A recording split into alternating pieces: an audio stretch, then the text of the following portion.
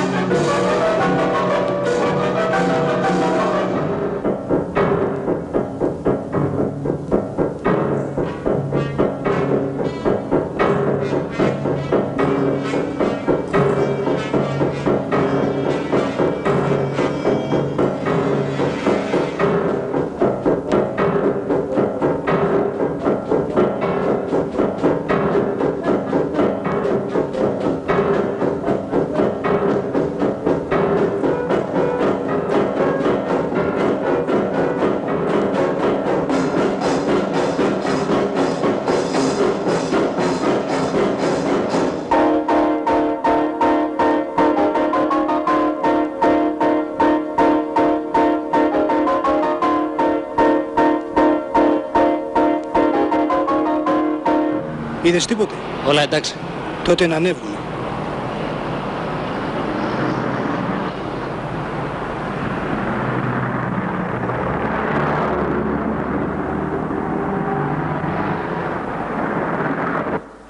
Ξανανοίξανε τη Γιάρο. Ναι, τους φορτώσανε όλους για εκεί. Και η ΕΣΑ κρατάει πάρα πολλούς. Πήρατε τα μέτρα Για σας, χαρά. παιδιά; Άσε με τρεις ώρες περπατάω. Γεια 50 σου. λεωφορεία αλλάξαμε για σιγουριά, Γεια χαρά, ότι γεια. δεν μας παρακολουθούν. Γεια. Γεια σου, παιδιά. Γεια σου. Γεια. Εσύ, έμαθες τίποτα για τον Γρηγόρη; Μου φαίνεται πως είναι στα χέρια της ΕΣΑ.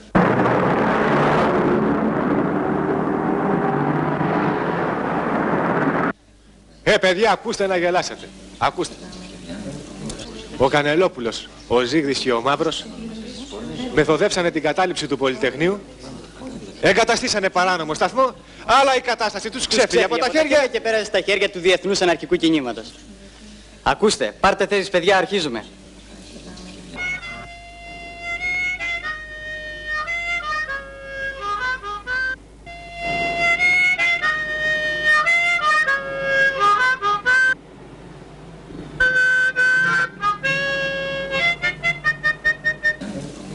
Γεια χαρά. Καλησπέρα, γεια. γιατρέ. Καλησπέρα.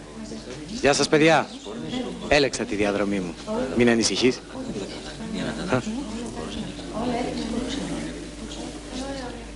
Καλησπέρα, Καλησπέρα. σας, γιατρέ.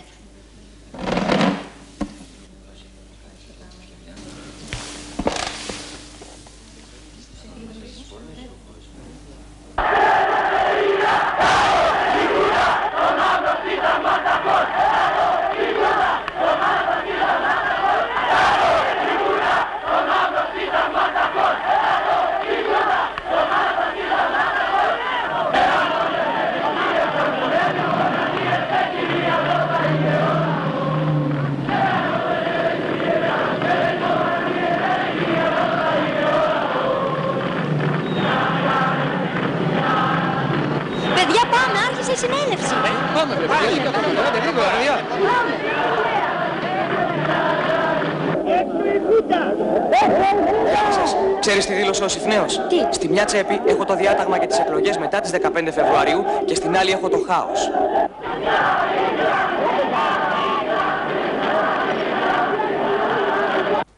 Το ίδιο πρωί στην Ανωτάτη Εμπορική Σχολή. Συγκεντρώσεως μερίδος φοιτητών εις αμφιθέατρο της σχολής χωρίς να έχει προηγηθεί η κατά νόμο Δεν αναγνωρίζουμε προβλεπωμένη σε άδεια κανέναν το της δικαίωμα να σχολής. κλείνει τη σχολή. Η σχολή δεν είναι ιδιοκτησία κανενός. Ο Παπαδόπουλος στις 2 του Μάρτη του 1973 είχε συγκεντρώσει όλους τους καθηγητές του Πανεπιστημίου και των λοιπών ανωτάτων ιδρυμάτων για να τους ανακοινώσει. Σας καθιστώ απευθείας υπευθύνους για τας περαιτέρω αναταραχάσεις των πανεπιστήμιων και στα ανωτάτα σχολά. Αποφασίζεται η διακοπή των μαθημάτων και της λειτουργίας μόνο να της λέσχης σπουδάζουνε, φοιτητών αλλά και να από τρώνε. τις 4ης, 14ης Νοεμβρίου μέχρι και τις 16ης Νοεμβρίου. Γνωρίζομαι καλώς τους υποκινητάς των φοιτητικών αναταραχών και θα τους συντρίψουμε. Να δείτε που και αυτή τη φορά η Πριτανία θα φωνάξει την αστυνομία να μας πετάξει έξω. Το ότι βρισκόμαστε εδώ δεν οφείλεται σε φιλελευθερισμό του καθεστώτος, αλλά σε καθαρή νίκη του φοιτητικού κινήματος. Και θα συνεχίσουμε να παλεύουμε για την κατάργηση της αντιδημοκρατικής και αντιφοιτητικής νομοθεσίας. Για την κατοχήρωση του πανεπιστημιακού ασύλου και της ακαδημαϊκής ελευθερίας. Στάσου όρθιος. Όρθιος, καλά. Γύρνα δεξιά τώρα.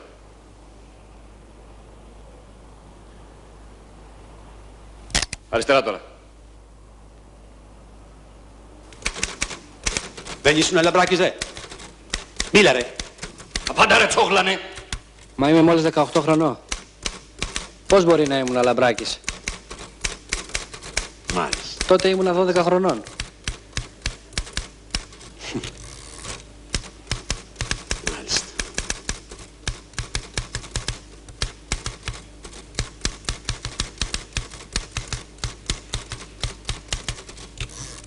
Φτάνει για την ώρα. Φέρτε τον επόμενο. Σε κουμπίστε τον από εδώ. Σηκώ πάνω. Τον επόμενο. Φέρτε τον επόμενο.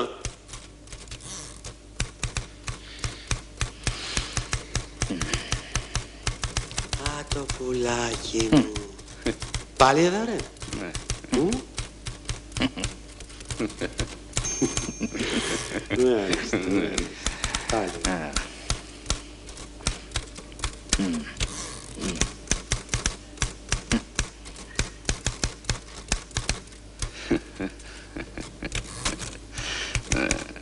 Κάτσε.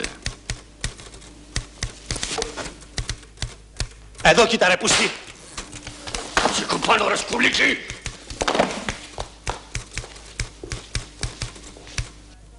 Τα αιτήματά μας απορρέουν πρώτο από την απαράδεκτη κατάσταση που επικρατεί στο Πανεπιστήμιο και τις άλλες ανώτερες σχολές και δεύτερο από τα προβλήματα της σχολής. Γι' αυτό είμαστε αλληλέγγυοι με τους συναδέλφους των άλλων σχολών για ένα καλύτερο πανεπιστήμιο. Και μια καλύτερη Ελλάδα.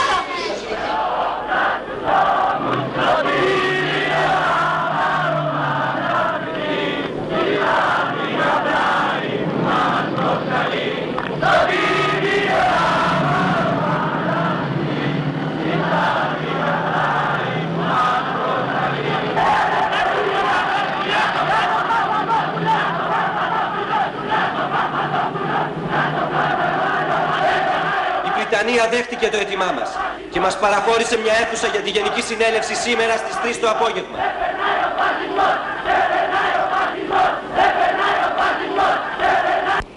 Η διεύθυνση της σχολής έχασε την ψυχραιμία της και ενήργησε με απαράδεκτο και αντιπαιδαγωγικό τρόπο.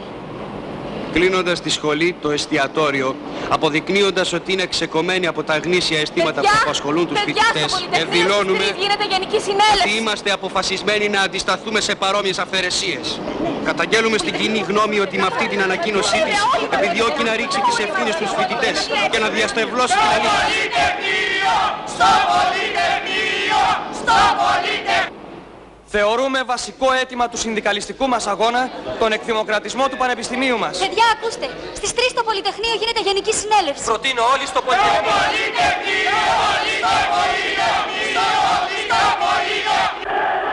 Είναι 28 μέρες που οι φοιτητές της γεωπονικής σχολής απέχουν από τα μαθήματά τους.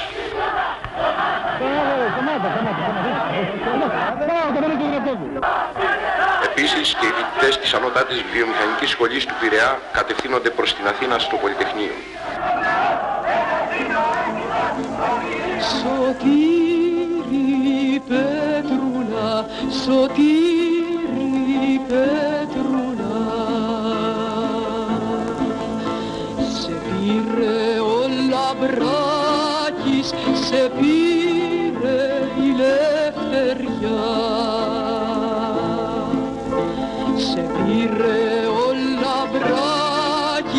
σε πήρε η Λευτεριά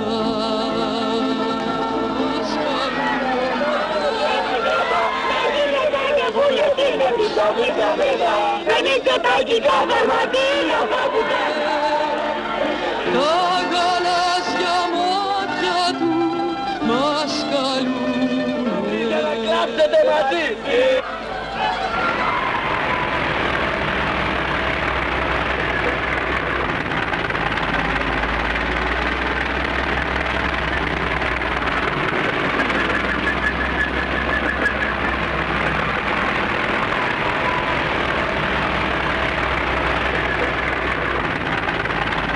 Το πραξικόπημα της 21ης Απρίλη του 1967 στην προσπάθεια φασιστικοποίησης της ελληνικής κοινωνίας πάβει τους ελεύθερα εκλεγμένους αντιπροσώπους όλων των οργανώσεων της χώρας και τους αντικαθιστά με άτομα πιστά στη στρατιωτική χούντα.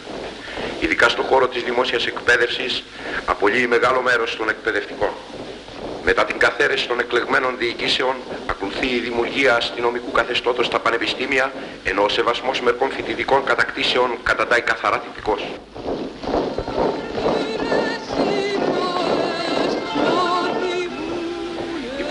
Και δραστήριοι φοιτητές κλείνονται στα στρατόπεδα συγκέντρωσης, στις φυλακές ή στα κουντρούμια της ασφάλειας, της διαβόητης πολιτικής αστυνομίας της Αθήνας. Οι λίγοι που διαφεύγουν της σύλληψη σχηματίζουν τις πρώτες αντιστασιακές φοιτητικές οργανώσεις. Από τις πρώτες μέρες του πραξικοπήματος, οι συλλήψεις, τα βασανιστήρια, οι εξευτελισμοί, οι προκλήσεις στα αστυνομικά τμήματα και οι βαριές καταδίκες συνεχίζονται χωρίς διακοπή. Παρ' όλα αυτά, οι κινητοποίησεις και οι ζυμώσεις στο φοιτητικό χώρο συνεχίζονται. Στις αρχές του 1972, ομάδες φοιτητών προσφεύγουν στα δικαστήρια διεκδικώντας το δικαίωμά τους να εκλέγουν ελεύθερα τους αντιπροσώπους τους.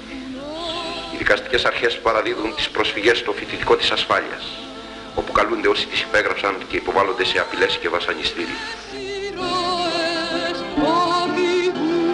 Οι φοιτητές εναντιώνονται στα αστυνομικά μέτρα, συσπηρωμένοι σε παράνομες οργανώσεις που ζητούν εκλογές.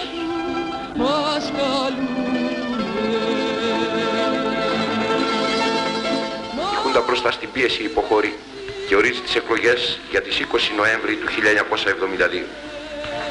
Η προεκλογική ζήμωση τρομάζει τη Χούντα, που χρησιμοποιεί κάθε μέσο, κάθε απάτη για να εκλεγούν οι πρακτορές της. Όμως οι φοιτητές εξαγριωμένοι συσπηρώνονται περισσότερο στις οργανώσεις τους. Οργανώνονται μεγάλες συγκεντρώσεις και διαδηλώσεις οι οποίες δεν περιορίζονται στο αίτημα των ελεύθερων εκλογών, μα πλουτίζονται με νέα φοιτητικά αιτήματα με αντιφασιστικό περιεχόμενο. Αυτές οι εκδηλώσεις κορυφώνονται το Μάρτι και Απρίλη του 1973, όταν διάφορες σχολές καταλαμβάνονται στην Αθήνα, Θεσσαλονίκη, Πάτρα, Γιάννενα. Η Χούντα αντιδρά επιστρατεύοντας τους πρωτοφόρους του φοιτητικού κινήματος. Απειλώντας τους καθηγητές προσπαθεί να τους μεταβάλει σε αστυνομικά όργανα ενάντια στους φοιτητές. Νέες μαζικές εκδηλώσεις για την ανάκληση των επιστρατευμένων. Το φοιτητικό κίνημα μαχητικοποιείται περισσότερο. Η συσσόρευση των γεγονότων, η συνειδητοποίηση και η πολιτικοποίηση του φοιτητικού κινήματος αποτελούν τη βάση για την εξόρμηση σε νέους αγώνες στην αρχή της ακαδημαϊκής χρονιάς του 1973-1974. Από εκείνη τη στιγμή κάθε μέρα είναι και μια μάχη.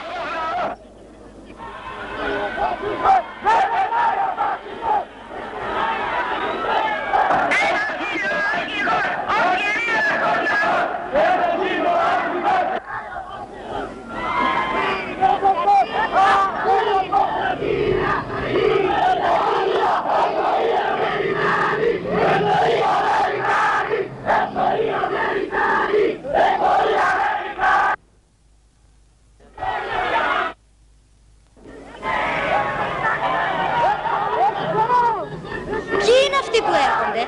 Α, είναι οι συνάδελφοι της νομικής. Η συνέλευση αποφασίζει να κηρύξει αποχή από τα μαθήματα μέχρι τη Δευτέρα 19 του Νοέμβρη, εάν η κυβέρνηση της Χούντας δεν δεχτεί τη διεξαγωγή των εκλογών μέχρι τις 4 του Δεκέμβρη. Οι κοινές διεκδικήσεις όλων μας συνοψίζονται στα παρακάτω. Κατάργηση όλων των αντιδημοκρατικών νόμων για την παιδεία και την αναβολή της στρατιωτικής θητείας. Συμμετοχή των φοιτητών στις αποφάσεις για τη διαχείριση των πανεπιστημιακών προβλημάτων. Εγγύηση για την ανεξαρτησία των πανεπιστημιακών σχολών χωρίς την ανάμειξη της στρατιωτικής χούντας. Αύξηση των κονδυλίων για την παιδεία μέχρι 20% του κρατικού προϋπολογισμού. Μείωση της στρατιωτικής θητείας στους 12 μήνες.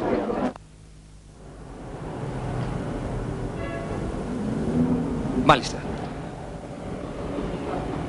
Μάλιστα, μείνετε απολύτως ήσυχος, κύριε Πρόεδρε. Δεν υπάρχει κανένας απολύτως κίνδυνος. Ελέγχομαι πλήρως την κατάσταση. Μάλιστα.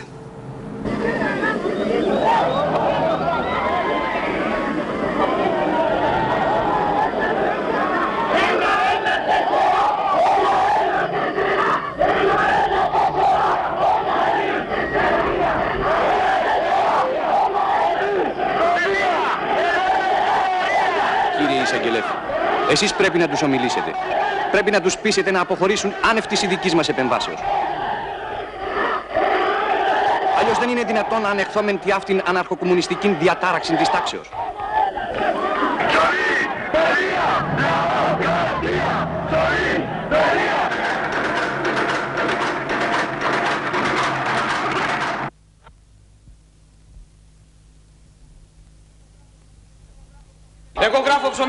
Ελευθερία. Έξω από τον ΝΑΤΟ. Εγώ γράφω κάτω οι Αμερικάνοι. 20% στην παιδεία. Για το στρατό, 12 μήνες θητεία. Κάτω η Χούντα.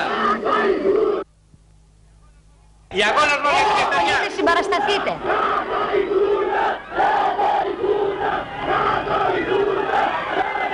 Μόλις προ λίγων ετών απευθύτησα του Πανεπιστημίου. Σας εννοώ πλήρως. Ο αγώνας σας με συγκινεί. Τότε έλα μαζί μας.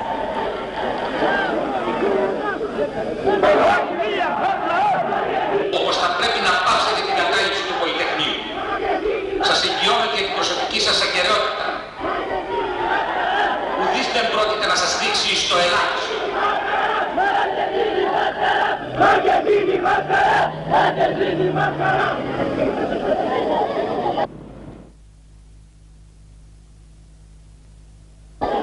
Η Βρετανία θα επιτρέψει την επέμβαση της αστυνομίας; Όχι. Οι ακαδημαϊκές αρχές δεν θα επιτρέψουν ποτέ μία παρόμοια ενέργεια. Δεν μπορώ όμως να σας βεβαιώσω ότι είναι και αδύνατον. Να ξέρετε όμως ότι αν γίνει κάτι τέτοιο θα γίνει μόνο με απόφαση της αστυνομικής αρχής. Πρέπει να επέμβουμε, κύριε Πρόεδρε. Κατόπιν της επεμβάσεως του Αγγελέους, κ. Σαμίτα, ελάχιστα εγκατέλειψαν των χώρων του Πολυτεχνείου. Ουδής. Ουδής σχεδόν. Μμμ. Μμ. Η προσωπική μου άποψη είναι να επέμβομεν. Καλώς. Θα αναμένομεν. Έχω συνέστηση της σοβαρότητας της καταστάσεως. Βεβαίως, ολόκληρος ο χώρος έχει περικυκλωθεί. Δεν επιτρέπομεν στους πολίτες να πλησιάσωση. Μέχρι προολίγου η κατάληψη περιορίζεται στο προάβλιο.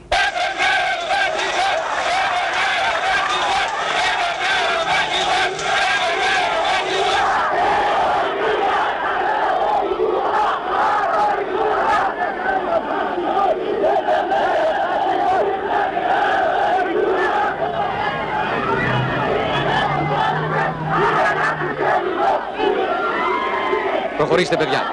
Όλος ο λαός είναι στο πλευρό σας.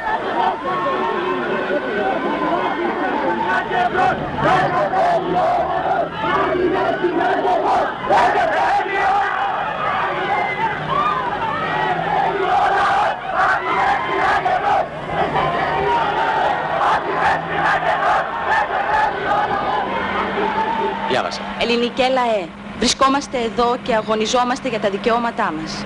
Ζητάμε η παιδεία να εξυπηρετεί τα συμφέροντα του εργαζόμενου.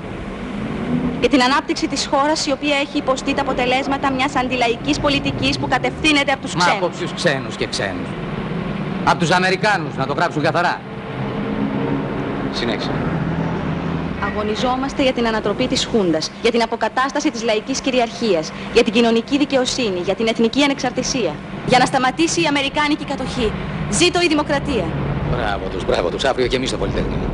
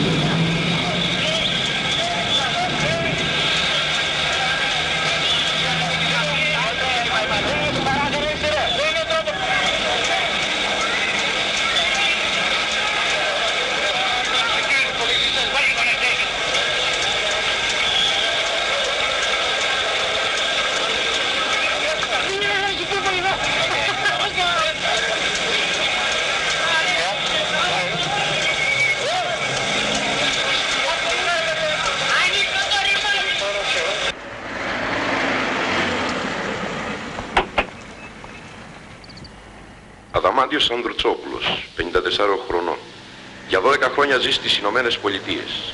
Υπουργός των Οικονομικών και ύστερα των Εσωτερικών μέχρι το Μάη του 1973, όταν παρετήθηκε κατά τρόπο παράξενο για λόγους υγείας.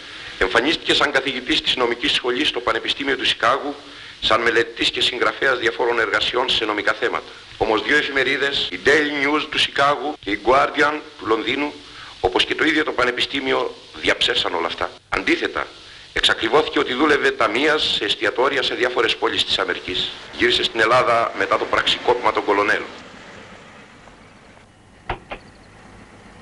Δημήτριος Ιωαννίδης, αρχηγός της στρατιωτικής αστυνομίας, υπεύθυνος για τα βασανιστήρια των αντιπάλων της Χούντας. Ήρθε σε αντίθεση με τον Παπαδόπουλο τον Αύγουστο του 1973 γιατί επέκρινε το άνοιγμα προς τη φιλελευθεροποίηση που κατευθυνόταν από τα άνω.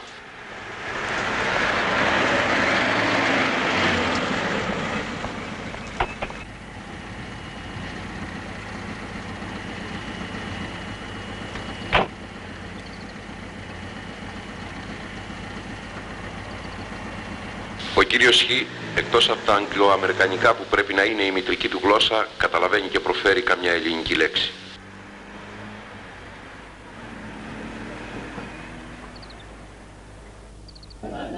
Παιδιά φέρανε κι άλλα τρόφιμα. Ψωμιά και ρίχνανε και τσιγάρα. Από το περιστέρι. Οι υπάλληλοι, οι φαντουργοί. Σας έφερα ό,τι μπόρεσα. Αύριο θα σας φέρω περισσότερο. Φέρνουν κουβέρτες. Ευχαριστούμε. Σας ευχαριστούμε πολύ. Ήρθε ο Κανελόπουλος. Ποιος; Α, ναι, ο Κανελόπουλος. Κανελόπουλος. Ε, μπράβο που μας συμπαραστέκεται ο Κανελόπουλος.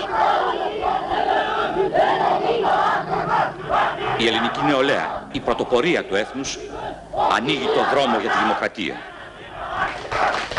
Αφού η τυραννία για σχεδόν 7 χρόνια κατέλησε τη δημοκρατία, είναι λογικό και επακόλουθο να προσπαθείτε να την αποκαταστήσετε έστω και με τη βία. Δεν συμμερίζομαι όλα τα συνθήματα που έχουν αναρτήσει στα κυκλειδώματα. Όμως τα κίνητρά σας τα επιδοκιμάζω.